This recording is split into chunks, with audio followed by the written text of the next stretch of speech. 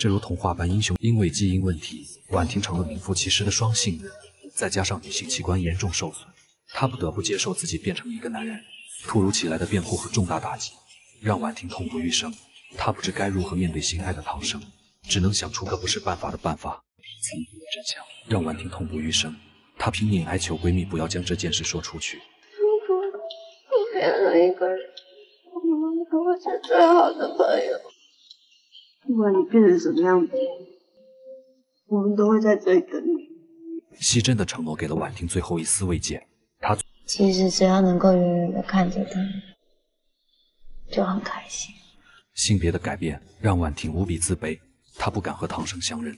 可谁知这天，男孩竟将她堵在了教室，婉婷也忍不住失声痛哭。如何可以选择？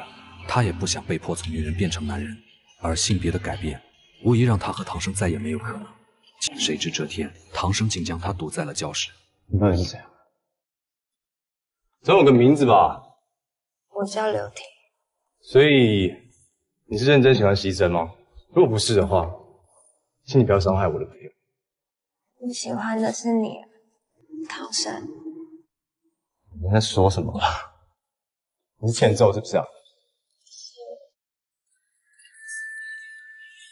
了解的我。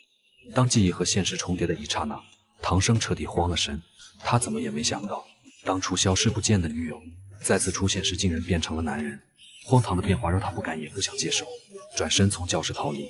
纠结再三后，唐生还是决定找到婉婷，了解当年真相。怎么会变成男生了呢？一定很奇怪吧？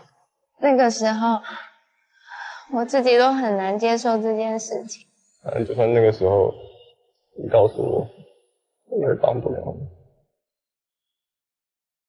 很辛苦吧？一句辛苦，让婉婷的自卑与担忧全都烟消云散。